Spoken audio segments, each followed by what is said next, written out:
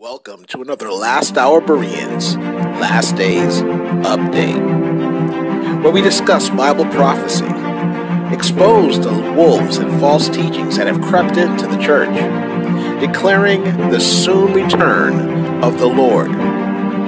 First for his church in the air, and then with his church at the end of the tribulation. Look up, for our redemption nigh. Welcome, everyone, to another LHB Last Days Update with Chris and Luis.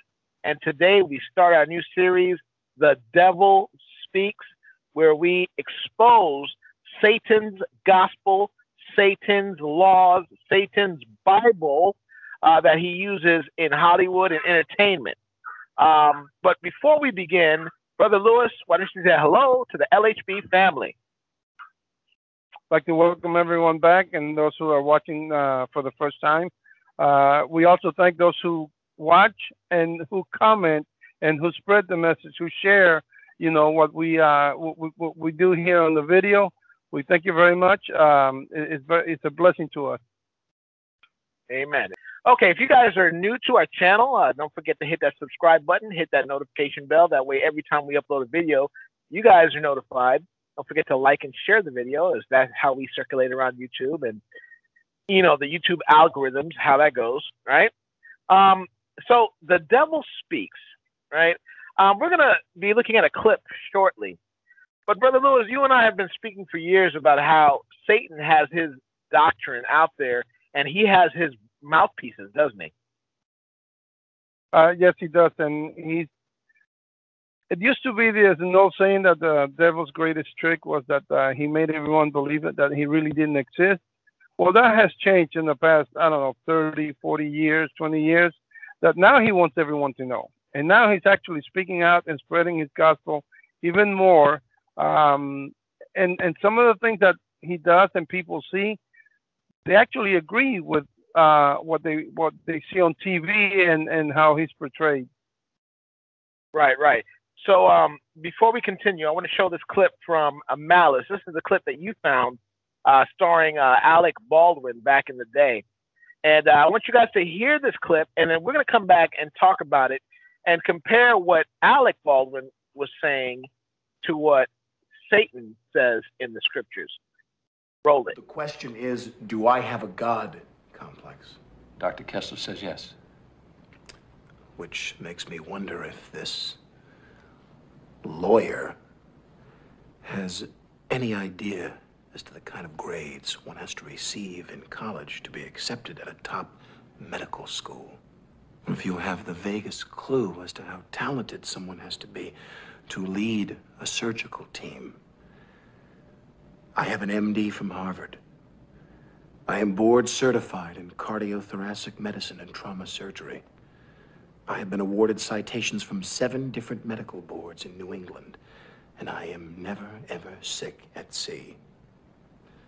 So I ask you, when someone goes into that chapel and they fall on their knees and they pray to God that their wife doesn't miscarry, or that their daughter doesn't bleed to death, or that their mother doesn't suffer acute neural trauma from post-operative shock, who do you think they're praying to? Now, you go ahead and read your Bible, Dennis. And you go to your church, and with any luck, you might win the annual raffle. But if you're looking for God, he was in operating room number two on November 17th, and he doesn't like to be second guessed. You ask me if I have a God complex? Let me tell you something. I am God. And this sideshow is over.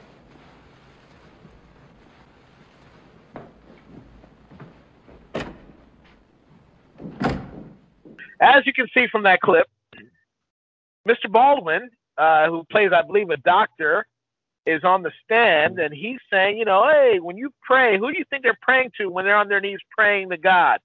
You know, and then he says something about, I don't have a God complex. I am God. What, what do you say about this? Well, if you go back to the word, these are Satan's words exactly. Uh, uh, they they might he might paraphrase it differently, but this is what he talks about. You know, this is who he thinks he is. He and he wants to be worshipped. People don't realize that Satan's problem is that he wants to be worshipped uh, by humans, and and we read this after the three and a half years when he goes into the temple and he declares himself to be God, and he wants to be worshipped by people. He's always wanted this, and this is part of his uh, campaign that he spreads the word out, you know, in certain places. And Hollywood is his biggest mouthpiece. And you're referring to the three and a half. You're talking about the Antichrist being possessed by Satan during the tribulation period. This is for our viewers who may not understand what, what references. You're talking about the temple that's going to be rebuilt in the tribulation period uh, by Antichrist, and he's going to set up uh, a throne actually in the Holy of Holies and declare himself God, right? Uh, correct. Uh, will be three and a half years of peace. This is going to happen, like you said, uh, uh, tribulation. So the Lord will come for His church, uh, and the period of tri- tribulation will start. Um, and then three and a half years after that, you know, that's when Satan goes into the temple. Uh, and w- we know this has been His plan all along. It's not a surprise to us because we read it in the Word. God warned us. God wants us to know what's happening and what is going to happen, so we would be prepared and not be afraid afraid of what's coming. That's right. But yeah, we see in Hollywood, like from this clip. I mean, this is. I didn't even know this this movie existed until you, you you reminded me. You're like, hey, this movie with Alec Baldwin in it. This guy basically is saying everything that's found in uh, Isaiah chapter 14 and also in Ezekiel 28. But we'll, we have Isaiah 14 here, and you have it in front of you. And I think we're going to read from verse 12 to 15. So whenever you're ready, go ahead and read those verses, and then we'll compare that to what Alec Baldwin in his role said. All right, this is what it says. How thou art fallen from heaven, O Lucifer, son of the morning, how thou art cut down to the ground, which didst weaken the nations. For thou hast said in thy heart, I will ascend into heaven, I will exalt my throne above the stars of God. I will sit also upon the mount of the congregation in the sides of the north. I will ascend above the heights of the clouds. I will be like the Most High. Yet thou shalt be brought down to hell, to the sides of the pit. Now, brother, we you know this is what God said. Lucifer had said in his own heart, in his spirit, when he was still in heaven, right before he got cast down. And you you see the same sentiment coming out of Alec Baldwin's mouth. Now, you know, granted, a lot of these actors maybe they don't know or realize that they're working for the enemy or that they're being used of the enemy or that some of them may be possessed. But you know, some of these roles, man, like you see Alec Baldwin on the stand and the way he's talking with the arrogance he's he's talking with, right? It's hard not to think that the man is possessed, right? Uh, yes, it goes beyond acting. Uh, we um, we know from Johnny Depp uh, he was asked one time why he doesn't watch his own movies, and he actually said, and you can look it up uh, on YouTube. He said, "Because it's not me, it's him." Okay, so he's saying that he's not really acting; that is him, and then you have to wonder who's him that he's talking about. Um, actually, Denzel Washington has said the same thing, and you uh, showed a clip one time of uh, Beyonce saying that that's not her. Uh, she has an alter ego on stage. It's called Sasha. Um, and you see the change in her face uh, from when she's talking normal to when she's a performer.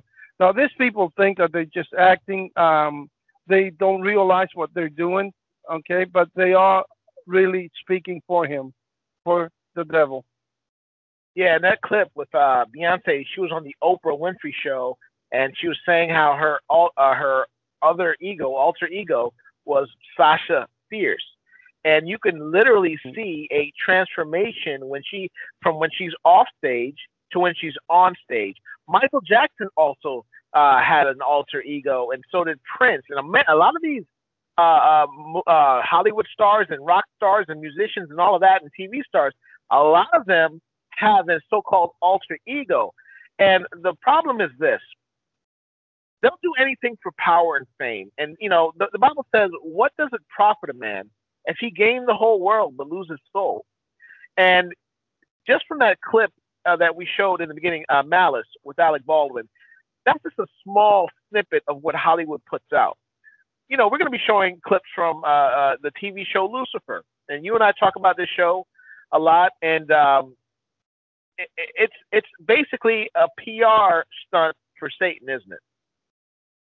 Uh, yes, it's, it's everything that Satan wants the world to know about himself, his view of himself. Um, and and if you watch the show and really don't really recommend it, it's, uh, the acting sometimes is bad, and there's just a lot of things in there. But you, you know, a mature Christian can watch this show and and and see where it's actually Satan speaking through the uh, the actor in the show um, and you know what what we just read, how he exalts himself. There's a part on, on in the show where he just says, "I am God." Wow, and you know, matter of fact, we have a clip uh, from Lucifer, and we're going to be showing a lot of clips from this show uh, because it's called Lucifer for crying out loud, right? So, what better show to to pick apart? Uh, here's a clip of uh, the actor who plays Lucifer, the fallen angel, uh, speaking to God and how he's a absentee landlord and all that. Roll it.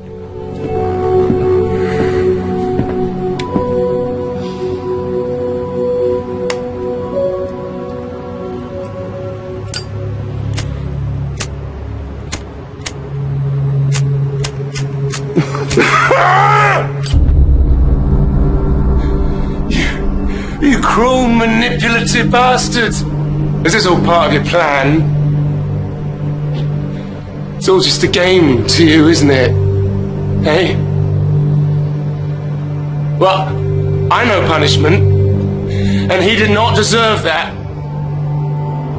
He followed your stupid rules, and it still wasn't good enough. So what does it take to please you? Break your rules and you fall, follow them and you still lose?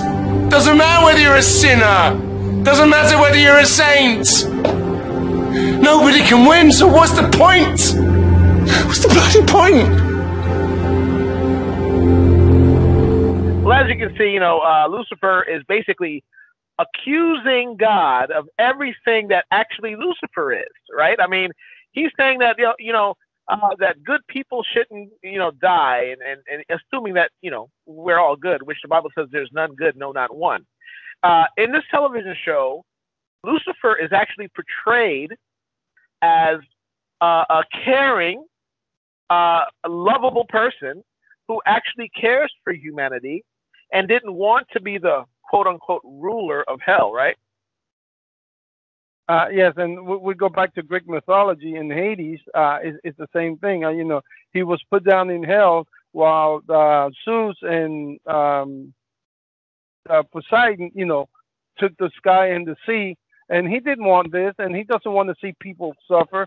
And in the show Lucifer, he doesn't want people to suffer. He doesn't want people to have pain. He wants everything to be beautiful. But he forgets one thing: is the reason that most of the time we have pain is because we cause it uh, ourselves because of our falling nature, our sin nature uh, after the fall. And he blames God for everything. And you know, uh, and everyone knows that people actually do blame God down the street. It's God's fault. If, and this is the, way what they say. If I were God, I wouldn't allow this to happen. Well, thank God that they are not God. because uh, the one thing that, you know, in that show, the clip we just saw with Lucifer accusing God of being deadbeat and all this suffering happened because of him, well, what he fails to mention is that Lucifer was the cause of all of this pain. Lucifer was the one who tempted Eve and Adam in the garden. Lucifer was the one who rebelled in heaven, okay, and, and caused the fall and caused sin to come into this universe. God was the one who created a very good universe. God was the one who created perfectly good people that that all they would enjoy was happiness and, and, and his blessings. It was God that is the good one, and Lucifer that was the cause of all this evil, right? Uh, correct. And but he, he portrays himself as, as being misunderstood, uh, as being given a job that he didn't want, uh, being punished, you know, and being sent out to rule over hell. Now, we know that he's not the ruler of hell. We know that he's the prince of the air. Okay, uh, he's a he's a murderer. He's the father of lies. Um, but he has this um, like promotion. He promotes himself as being good and, and being misunderstood, uh, and, and, just wanted wants everyone to be happy. And he did, and he turned a third of the angels against God. He convinced them, and we have to go back and realize that he convinced angels in heaven, in the presence of God, to follow him and rebel against God. This is how this anointed cherub is, is. You know, he's he's that powerful. He he lies. He's very charismatic, and we see the uh, actor that plays Lucifer in this show has been, uh, you know, uh, sophisticated, suave. You know, all the women want to be with him. All the men want to be just like him. And in this show, the bad one is actually God, plus also Michael. Right. It's always it's basically he flips the script on the in the show. And and guys, you know, uh, I, I watched this show uh, for the, you know we're doing the program we got all this information from the show. I could only watch it for so long. Uh, uh, bless Luis's heart, he toughed it out and actually finished. Uh, he binge watched the show and he had to do a lot of fast forwarding.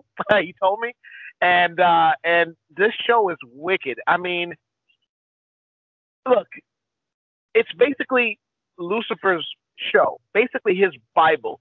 He's taking everything that the Bible says about him and God and flipping it on its head, basically saying that God is the evil one and Lucifer is really the good one. And, and as Luis, since he's the one that finished it, as we go through the series, he's going to be divulging more and more information every week about the show so you can see it just how far it went.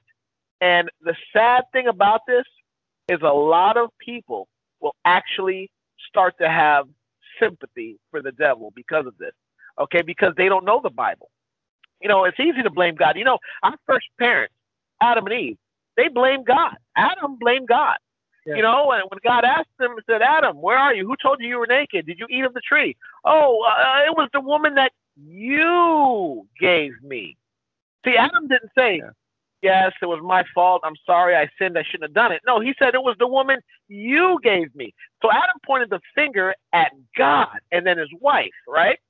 So he said, hey, I'm innocent. Uh, you know, if you didn't give me that woman, I, you know, I wouldn't have done it. But that, it doesn't fly that way. And this is exactly what uh, this program Lucifer is doing, and the many uh, um, uh movies and also video games uh, that that are doing this. Matter of fact, we have one more clip to show you. Uh, this is from the video game Dante's Inferno. Now, if you don't believe that Satan is coming after the youth, I don't know what to tell you. Okay, but take a look at this clip, and then we'll come back and talk about it. Roll it. You dare assault me? You who have done far worse than I. I stood for my fellow angels, for reason and justice. And then he made you in his image. You, the flawed creation. And I was to bow down to you. As you can see, uh, in this game, you have, you know, Lucifer saying, I stand for my fallen angels. And, you know, he, you know, I was perfect in all this. And then he created you, the fallen, the flawed creation, speaking of humanity and that uh, he he's talking about how God wanted him to bow down to man, and he refused to do it because the Bible does say that angels are sent to minister to those who are the heirs of salvation. And one day, Christians in a glorified bodies will be elevated above angels. Satan knows this, and in that video game clip, brother, he said it from his heart, didn't he? Yes, he did. And and you're watching a video game but if, if, if you just close your eyes and listen to the words, it, it, it'll be so so obvious that it's Satan speaking, and and he uses games because if he can get to the children, because that's how Satan works. He gets to to children um, when they're you know five, six, seven. They he lets them see things in the spiritual world that sometimes you know it scares them and scars them for life. And the communist agenda is to indoctrinate children Okay, not when they're adult, when you're children. The Catholic Church indoctrinates children so they can grow up to be good Catholic but actually they're following Satan. Um, and, and, and this is how he gets to them as, as a child, because you know, as a grown up, a lot of the problems that you have as a grown up go back to your childhood that are still with you, and, and you keep bringing them back. And this is his agenda. Right, and the Bible says we shouldn't do that. We shouldn't be bringing back things from our childhood. He says to forget those things which are behind and and press forward to the to, to Christ. You, you know, when psychologists tell you, "Oh, you got to relive your past, bring up all that stuff," no, that goes against what the Bible says. Forget those things which are behind. This, this excuse about, oh, the reason he's a serial killer is because he had a rough childhood is just another satanic excuse for sin. Okay, you know, yeah, all of us at one point had some roughness in our childhood, and some people had it really bad. Some people were abused and raped and all of that, and yet they turn out to be some of the finest Christians who don't blame their past. They don't use that as an excuse. So uh, that's another satanic lie that you got to bring up your past, and you got to. The reason you are the way you are is because of your past. No, Jesus Christ said to forget those things uh, that were, are behind. Okay, the Word of God says that. Okay, and Jesus is the Word. But um, you know, we only have a few minutes left. But brother, you know, when I'm we see all these clips that we just showed, this is only the beginning, guys. There's so many. There's too many clips to show uh, in this series. We're gonna try to get to many different clips from many different shows, but you're gonna start to see a theme here. Okay. Uh, and the very last clip we're going to use, that's, uh, you know, that's uh, one of the, the worst speeches I have ever heard. And this is it's like you're listening, like Luis has said, like you're listening to Satan himself. If you were to close your eyes, you would hear the devil speak. And that's going to be, we're saving that one for last, okay? And um, because it's, the worst. I, in, in my opinion, it's the worst. But um, you're going to start to see a theme here between all of these clips, okay? You're going to start to see Satan saying he's the good guy, Satan blaming God for all the evil in the world, Satan getting a bad rap, right? All he wanted to do is love man and show and free man. You know, that's all he wanted to do. Okay. Uh, Satan saying God is a deadbeat uh, uh, or absentee landlord or whatever that he he started this thing, but he has no involvement in it. He just lets us do whatever we want and lets all the bad things happen, right? As if God is not involved you're going to start to see, and you see the hatred. Luis said something to me off camera, and I want him to repeat that here. Talk to us about the hatred in some of these and the transformation in the faces of some of these actors. Well, you can see that, you know, they're very good actors, um, but once they get into this dialogue that they have to do, you see the changes in their faces. And, and, and you see that this is no longer the human actor actually acting. This is someone who is possessed at the time when he's speaking this because he wants Satan wants the word out. Um, and, and you know sometimes when you speak in anger, people actually listen more to you, and you can see the transformations in their faces. Wow, wow, brother. Well, you know, guys, uh, this this first episode it went by fast all of our episodes go by fast. You know, when you're talking about the Word of God, uh, uh, it just goes by pretty fast because we we love talking about the Word of God, and uh, we love exposing darkness, and that's exactly what we're doing today. You know, uh, we're we're supposed to expose the darkness according to the Word, right? And um, you know, we have to look out for our, the next generation, the children who may be sucked into these lies that are being pumped into their eyes every single day through the television or internet or whatever. Okay. And so this is what we're doing. So, Brother Luis, we always want to end with the gospel. And uh, time is running short on this planet. The Lord Jesus Christ is soon to come. And uh, the, the things around the world are lining up perfectly for the rapture to take place pretty soon. Um, it's getting really dark down here. So, what must a person do to be saved? Do they have to you know, like the Ash Wednesday just passed. Do they gotta put ashes on their head, or they gotta put holy water, or do they gotta walk on their knees on bottle caps up the stairs? We gotta pray to Mary through the rosary. What must they do to be saved? Well, you know, we, we have the, the, the, the gospel that we preach, um, and we forget sometimes that Satan has his own gospel. Um, our gospel says that no one is good, not one, And Satan says that everybody's good and they should all be rewarded and they should all be going to heaven. But once you once you look past that and you realize, wait, no one is good. I am not good. Okay. Uh, I, I, I have a problem. I have a sin nature in me that makes me do things that I shouldn't be doing. You know, Paul says the things that I want to do, I don't do, and the things that I don't want to do, I do. It's our sin nature. And once you realize that, and you realize that your sins are against an eternal God, your sins are eternal, you need someone to wipe those sins away from your life because you want to go to heaven. You want to be with the Father, which is what everyone wants. But to do this, you realize you're a sinner and you go to the one that can wipe the sins, that flake clean for you, that can, when the Father looks at you, he no longer looks at you as a sinner, but he sees Jesus in you uh, so you accept Jesus as your Savior. You go to Him and you tell Him, "I need a Savior. I'm a sinner. Forgive me," uh, and and thank Him for what He did on the cross. Amen. Uh, the Bible says, "All that call upon the name of the Lord will be saved." Please, guys, do not put it off any longer. If you're hearing our voices right now, make a decision now. Okay, it's it, Jesus did all the hard work. He did the hard part.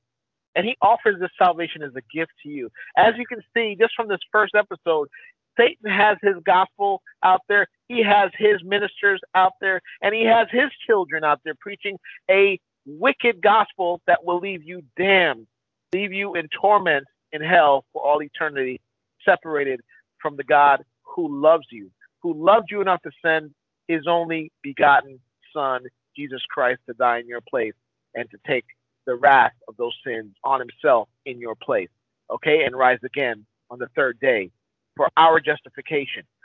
So don't hesitate. Don't wait any longer. You may, you may not guarantee tomorrow. What we are guaranteed, everybody will meet God. Either you're going to meet him as a saved individual or you're going to meet him as a damned individual. Those are your two options. Either he's going to be your father or he's going to be your judge. That's it. There's no third option. Okay, you follow Satan, you're going to get Satan's reward. Okay, that that's just the way it is. There's no good ending for following Satan. Everybody in hell right now, they know the truth. They just realized it too late, and they can't get out anymore. They're stuck there. We don't want that for any of you guys. We want you guys to be able to enjoy and rejoice in the presence of the Lord. The Lord is coming soon. Time is short. Make no mistake about it. It could happen tonight. Okay? And we want to see you with us in the kingdom of Christ. Okay. So until next time, my friends, and by the way, join us next week for part two on our new series, The Devil Speaks. We're going to be getting in some more clips. Okay? And uh, we're going to be breaking it down. So until next time, my friends, look up. Our redemption draws near. Maranatha, and God bless.